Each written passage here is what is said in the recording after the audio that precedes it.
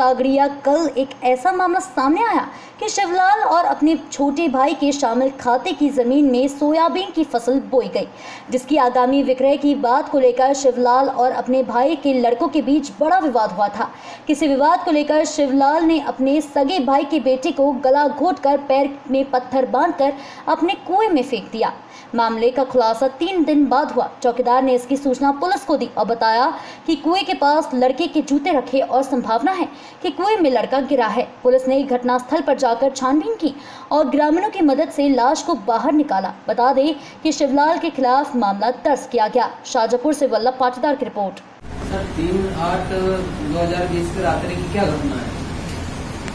दिनांक तीन आठ दो हज़ार बीस की रात्रि की ये घटना है।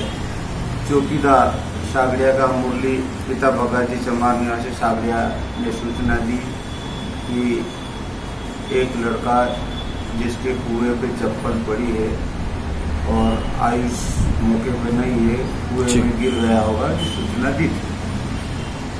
इसके बाद सूचना पर मौके पे रवाना हुए। जी। ग्रामीणों की मदद से लाश को कुएँ से निकाला गया और निकालते वक्त मृतक आयुष के दाहिने पैर में पंद्रह किलो का पत्थर बंधा हुआ। रस्सी से बंधा हुआ था। उक्त घटना संदेही होने से आ, संदेही आ, शिवलाल पिता बाबूजी चमार से पूछताछ की।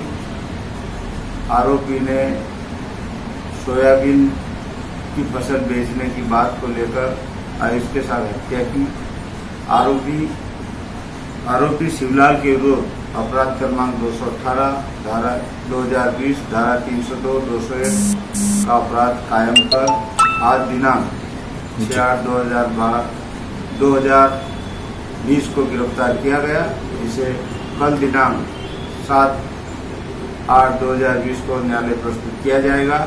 इसमें मौके पर करण जसमती साक्षी है, उसके भी कथन लेना चाहिए।